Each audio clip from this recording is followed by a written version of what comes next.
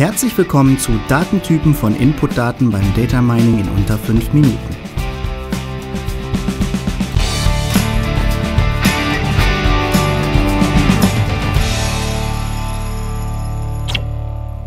Wie der Name Data Mining bereits erahnen lässt, werden hierzu Daten benötigt. Diese können in den unterschiedlichsten Formen vorliegen. In Unternehmen liegen die Daten meist als strukturierte Daten vor. Die häufigste Datenstruktur ist hierbei die Datenbanktabelle. Hier haben wir beispielsweise eine Tabelle mit Artikeldaten eines Baumarktes. In ihr erhält jedes Objekt eine eigene Zeile. In den Spalten sind dann die Attribute der Objekte abgelegt. Wichtig ist, dass jedes Objekt einen Primärschlüsselwert besitzt, der das Objekt eindeutig identifiziert. Daten können aber auch als Mengen vorliegen. Diese können ebenfalls als Tabellen dargestellt werden, jedoch steht dann jede Zeile für eine Menge von Elementen und jede Spalte für ein Element. Hier haben wir als Beispiel Warenkorbdaten. Jede Zeile ist dabei ein Warenkorb und jede Spalte eine Position des Warenkorbs. Eine weitere Form, wie Daten vorliegen können, sind Sequenzen. Eine Sequenz ist ein Verbund von Daten mit einer linearen Ordnungsstruktur. Das heißt, die Reihenfolge der Elemente ist dabei wichtig.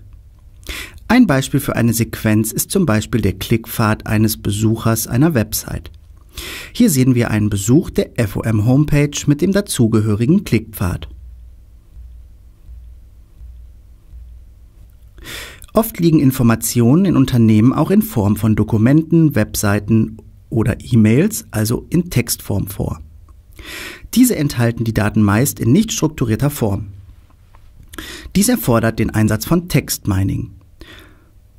So können beispielsweise E-Mails in Klassen wie Bestellung, Beschwerde, Spam oder ähnliches eingeteilt werden. Texte können aber auch semi-strukturiert sein. Bei semi-strukturierten Texten werden zusätzlich zum reinen Text noch Tags einer Auszeichnungssprache wie HTML oder XML eingesetzt. So lassen sich die Texte nach bestimmten Tags wie zum Beispiel einem Titel oder anderen Schlagwörtern durchsuchen. Bei Zeitreihen liegen die Daten in einer zeitlich geordneten Folge vor. Neben dem eigentlichen Wert der Variable wird zusätzlich noch ein Mess-, Beobachtungs- oder Zählzeitpunkt festgehalten. Solche Daten werden häufig zu Prognosezwecken eingesetzt. Dies können beispielsweise Absatzprognosen sein, bei denen vorangegangene Daten betrachtet werden, um zukünftige Absätze voraussagen zu können. Bei Graphen wird eine Menge von Knoten mittels gerichteter oder ungerichteter Verbindungen miteinander verbunden. So lassen sich beispielsweise die Linkstruktur einer Website oder die Verbindung von Personen in einem sozialen Netzwerk visualisieren. Als Beispiel sehen wir hier die grafische Darstellung eines kleinen sozialen Netzwerkes. Mittels Geodaten, also geografischen Informationen von Objekten, können räumliche Muster aufgedeckt werden. Zum Beispiel kann geschaut werden, ob es räumliche Cluster bezüglich des von den Kunden generierten Umsatzes gibt. Hier sehen wir eine Deutschlandkarte. Diese wird nun in verschiedene Umsatzcluster aufgeteilt. Auch Bilder können als Daten dienen. Zwar ist häufig eine recht aufwendige Vorverarbeitung nötig, danach lassen sich aber beispielsweise Objekte in einem Bild identifizieren.